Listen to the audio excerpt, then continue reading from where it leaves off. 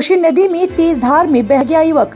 तीस घंटे बाद भी नहीं मिला शव। बेलदौर थाना क्षेत्र के बलेठा गाँव के नौटोलिया में सोमवार को सुबह 10 बजे बगल की कोसी नदी के तेज धारा में एक युवक बह गया।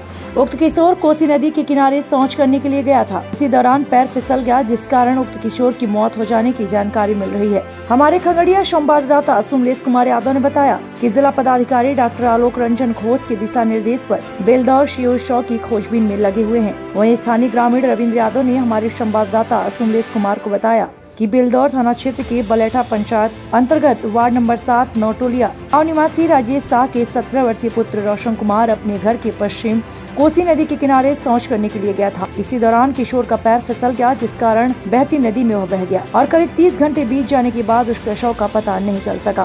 बलेठा पंचायत के नवटोलिया में जो एक बच्चे के डूबने से मौत हुआ है और 30 घंटा बीत गया है इस पर आपका क्या कहना है? इस पर मेरा यही कहना है कि ये प्रशासन की लापरवाही है। कल यानी तेईस को ही आपको नौ पैंतालीस बजे घटना घटी। इसके बाद हमने अंचल से लेकर जिला प्रशासन को अवगत कराने का काम किया। बार बार मोबाइल करने के बाद एसडीआरएफ की टीम दो बजे आई। दो बजे छः बजे, चार घंटा इन्होंने अपना काम किया, लेकिन लाश की बरामदगी नहीं हो सकी। हम लोगों का ये था कि यह टीम यहीं रहे और सवेरे मॉर्निंग पाँच बजे से लोग अपना काम करेंगे, लेकिन टीम चली गई। सीओ भी चले गए, अपना कर्जा ले। और फिर आज बहुत कर मोबाइल वगैरह और आप लोगों के सहयोग से फिर टीम आई।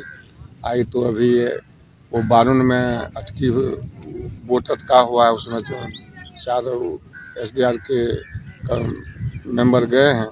बाकी यही है किनारे कुछ पता चला सबका? सबका अभी तक कोई पता नहीं चला है। हम लोग अपना स्तर से एक नाव भी छोटी नाव भी भेजे हैं और मोबाइल से कंसल्ट हैं लेकिन वो भी जिला प्रशासन से क्या मांग करते हैं? जिला प्रशासन से मांग करते हैं कि लाश बरामदी हो और हर हाल में निसहाय गरीब परिवार को जो सरकारी सहायता मिलता है वह मिले। आपका परिचय?